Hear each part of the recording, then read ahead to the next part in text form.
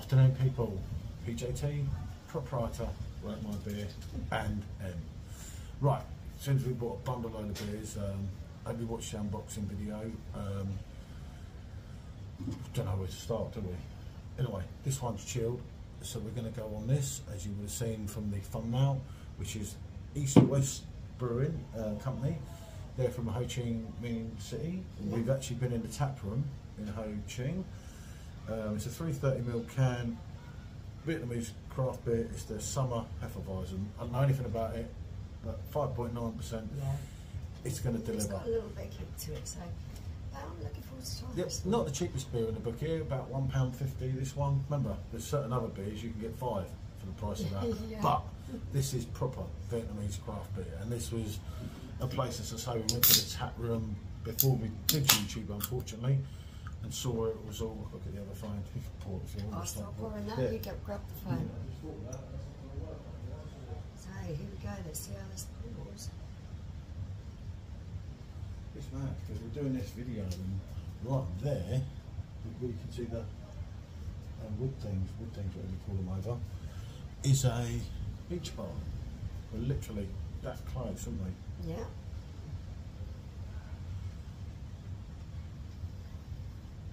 Ooh, that looks quality. Look It's at that. looking very good. It's still tiny. Let's put it this way: um, you can get four Yeah. blancs. Oh, oh, Look at that, the cloudiness. Ooh.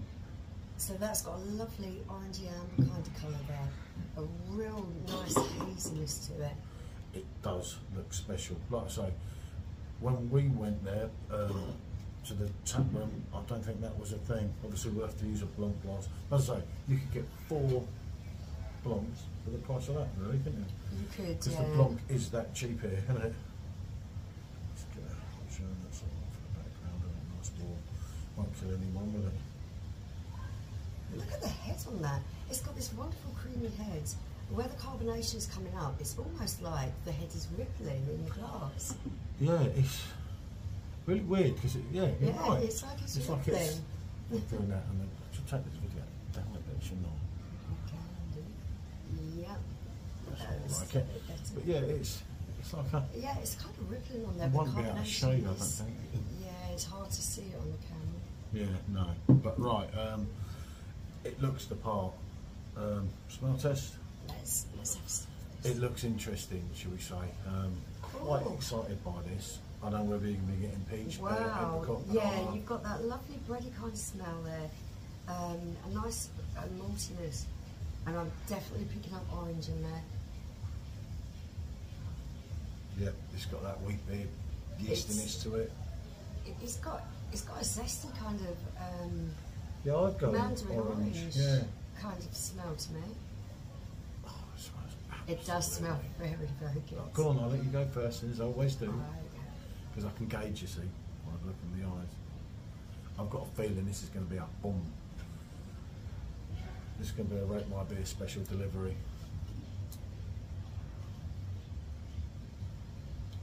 Don't forget that bit. Ooh, can you Yeah, I know. bottom? I just couldn't get it in quite in Oh, the Jesus time. Christ, yeah. look at it.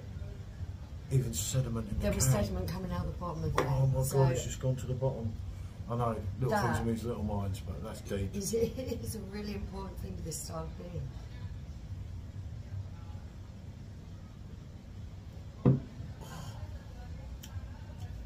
Wow. Yeah, I knew he was going to say that. And there's a mad bitterness, isn't there? You are you are getting a little bit of a, a bite at the end. Yeah. yeah. What a- yeah. but it's creamy as it looked. Um, It's got a medium carbonation. You start with the wonderful um, ready wheatiness. You get a lovely bite of fruit then. I'm still picking up on uh, a zesty mandarin. lemon as well, like. But there is, I was just about to say that there is a little bit of lemon there. And maybe even something like uh, apricot, a little bit of soft fruit in Um, there as well. It goes along, and it is. There's resemblances to certain other wheat beers here, but um, yeah, that's that's decent. Mm. It does. It's definitely a bitter aftertaste, and the bitter aftertaste is really toning down like the, the fruit explosion you're getting. Yeah. It's, it's it's- given a nice balance to it because, like you say, you have got that real fruity explosion, lovely creaminess. Despite having a medium carbonation, it's still flowing down quite cleanly. And in Vietnam, hold on, look. Actually say something on it. Hold on, I might be able to read you this in English. Probably totally different to how we've described it. But it's always good to read up on them, isn't it? Right. Okay, what's it say? It says. Oh no, it's not. It's not. No. Unless you suddenly started being able to read Vietnamese. There's two languages, you see. So I thought. Yeah, I'm not sure what the other language is. Yeah. Don't know. But it's, there's not an English. Just then I thought that'd be really handy. But um, WW East West Brewing VN, they're on Facebook, they're on Instagram, and you can mail them. There's a, something cool in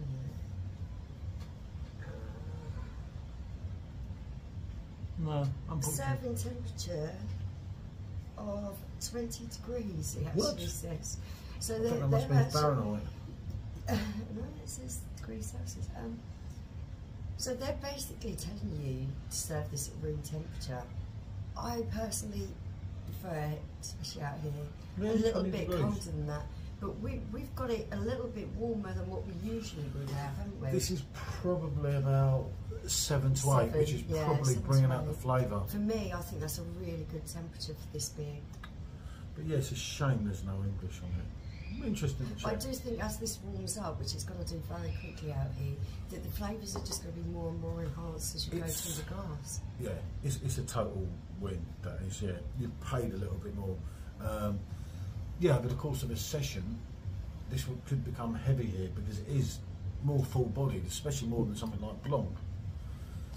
Yeah, it's, it's, it's got a thicker mouthfeel than Mm. Blanc has. but and then at night time, it's definitely zesty. There was, it's got elements of um, Hackney Church Brewing, St Clements, Yeah, it has it has got But a little bit of a little bit um, heavier. Yeah, That's an absolute. that's a really cracker. decent beer, isn't it? Um, I'm really I'm not going to compare it to Blanc because I've, I have this with Blanc and there's always hate for Blanc in certain dodgy Facebook beer groups. But Blanc it's is actually a different style Yeah. of beer. Blanc is a wheat beer, but Blanc's a light-bodied wheat beer that hopefully introduces people to wheat beer. But this is a full-on wheat beer. This is Yeah. like a much more medium, um, at least, isn't it? Yeah, for me, More full-bodied for For me. me, it's a medium-bodied, um, Medium to full. reasonably complex beer that just has an abundance of flavour in it. That is really the flavours that are there enhance each other, and you get the full experience on your palate with every sip. Yeah, and it's proper, proper delivery. There's no two words about it. Is there? Yeah, I'm I'm going to rate this beer, and I'm going to rate it highly. It's going to rate my beer of nine for me. I like that. No, it's not a lot left. Eight minutes. Okay. Um, I've got to have that bottom bit. So you can have one little bit more. You see, I just That's why I took a small sip because I saw the sediment in the bottom, and I thought you were going to want that. Ah, I've just got an intriguing thing about this, and it's absolutely delivered in it. Mm.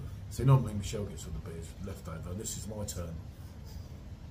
And that tells you he's good, because usually he's just like, oh, you can have it.